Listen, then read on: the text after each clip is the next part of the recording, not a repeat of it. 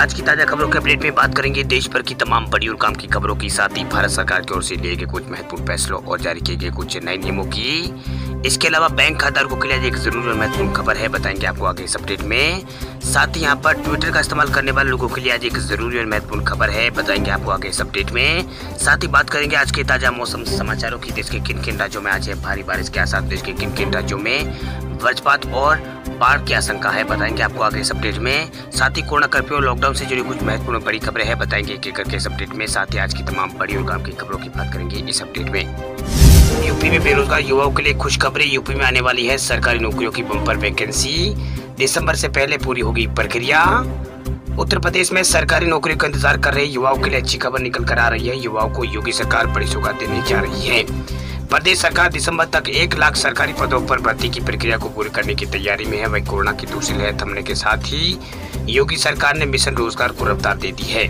वही प्रदेश भर में आर्थिक गतिविधियों को यहाँ पर तेज करने के साथ साथ राज्य सरकार ने सरकारी विभागों में खाली पड़े पदों को पूरे करने के यहाँ पर और कदम बढ़ा दिए हैं। वही जिन विभागों में भर्ती प्रक्रिया कोरोना के कारण रुकी हुई थी, वहाँ युद्ध स्तर पर कार्य शुरू, यहाँ पर कर चयनित युवाओं को नियुक्ति देने का निर्देश दे दिए गए हैं। वही कोरोना की दूसरी लहर थमने के साथ ही उत्तर प्रदेश में आर्थिक गतिविधियों को तेज करने के लिए राज्य सरकार ने सरकारी विभागों में रिक्त पदों की भर्ती प्रक्रिया को पूरी करने की ओर कदम बढ़ा दिए हैं। वही पिछले साढ़े चार साल में अलग अलग विभागों में लगभग चार लाख सरकारी नौकरी उत्तर प्रदेश की योगी सरकार दे चुकी है।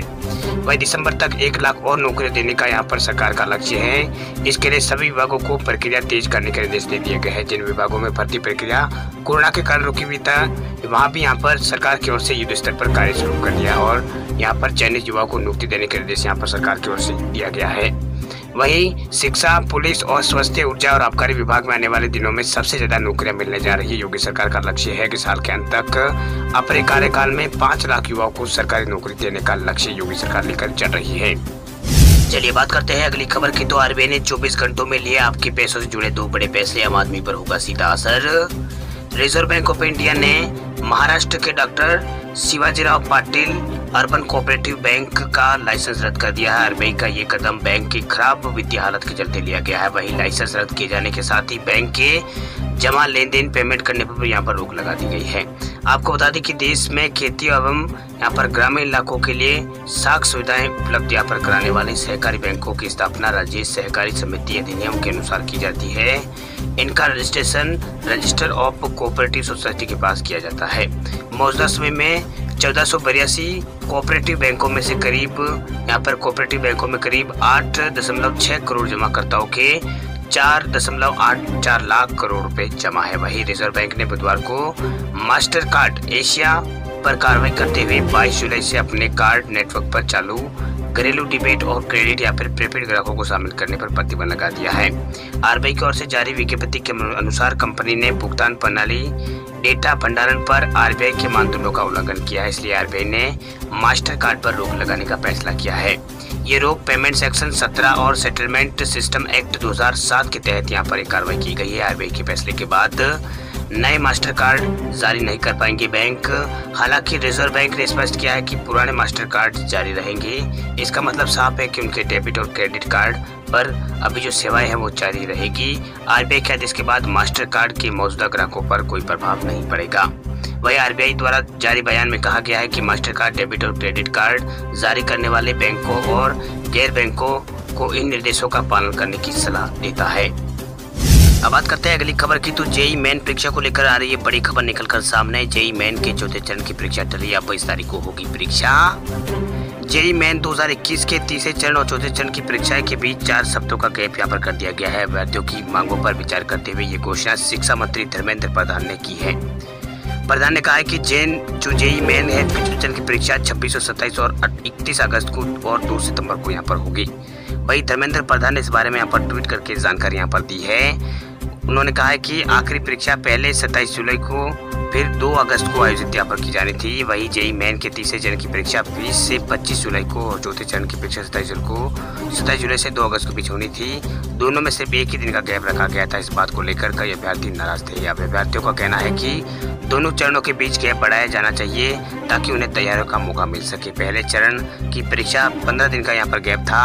अब इस नई घोषणा के साथ कैंडिडेट की मांग यहाँ पर मान ली गई है और केंद्रीय शिक्षा मंत्री की ओर से ये ट्वीट यहाँ पर किया गया है। इसलिए यहाँ पर छात्रों ने भी राहत की सांस यहाँ पर ली है। चलिए बात करते हैं अगली खबर की। तो ट्विटर ने तीन अगस्त से फ्लिट फीचर को बंद करने का किया है ऐलान।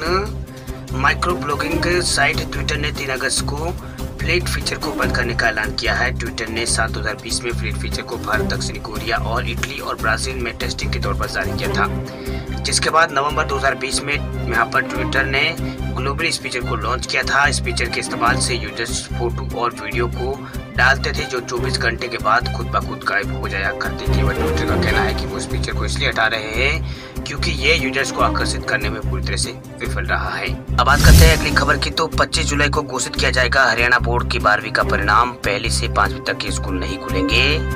हरियाणा के शिक्षा मंत्री कोरबाल खुजर ने प्रदेश के बारहवीं बोर्ड परीक्षा के परिणाम की तारीख का ऐलान कर दिया है। शिक्षा मंत्री ने कहा है की बारहवीं कक्षा की परीक्षा परिणाम 25 जुलाई को जारी किया जाएगा। उन्होंने कहा है कि लाखों छात्र छात्राओं की परीक्षाएँ हुई है। अब उनके परिणाम भी इसी महीने आएँगे। वही कोरोना को लेकर शिक्षा मंत्री ने बयान दिया है कि उन्होंने कहा है कि हरियाणा में कोरोना महामारी के मामले सुनी की ओर जा रहे अभिभावक निश्चित होकर बच्चों को स्कूल भेज सकते हैं।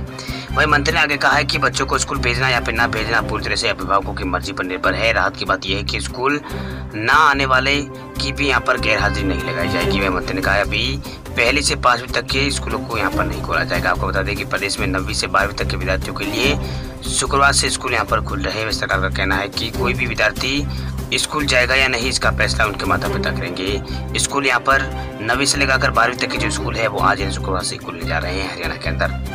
अब बात करते हैं अगली खबर की। तो आईसीआईसीआई बैंक समेत तीन बैंकों ने शुरू की है नई सर्विस। अब सिर्फ़ मोबाइल नंबर से रोज भेज सकते हैं एक लाख रुपए।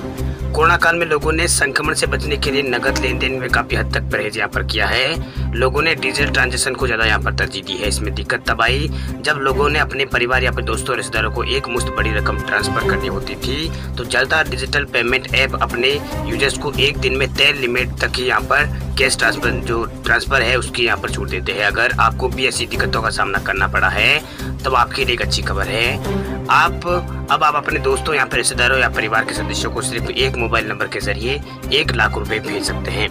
वही आई बैंक, कोटक महिंद्रा बैंक और एयरटेल पेमेंट बैंक ने पे टू कनेक्ट यहाँ पर फॉर योर कॉन्टैक्ट सर्विस यहाँ पर लॉन्च की है। इस सर्विस जो ये नई सेवा है, इस सेवा के तहत आप अपने मोबाइल नंबर के ज़रिए अपने दोस्तों या फिर किसी भी रिश्तेदार को मोबाइल नंबर पर पैसे भेज सकते हैं। अभी तक यूपीआई के ज़रिए पैसे भेजने पर दूसरे बैंक अकाउंट की डिटेल या फिर यूपीआई आईडी चाहिए थी, लेकिन इस सर्विस के शुरू होने पर अब आपको उसकी ज़रूरत नहीं पड़ेगी।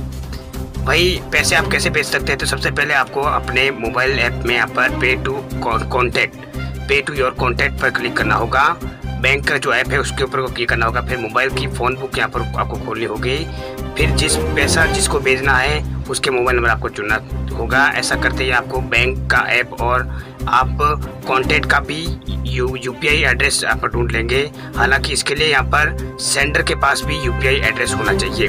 वही अब आप अमाउंट और पासपोर्ट डालें, इसके बाद आप दूसरे के खाते पर चला जाएँगे, वहाँ मतलब पैसे, मगर वहाँ से चले जाएँगे बैंकों के मुताबिक। यूपीआई की नई सर्विस से पेमेंट के दौरान यूपीआई आईडी और बैंक डिटेल की ज़रूरत नहीं होती है।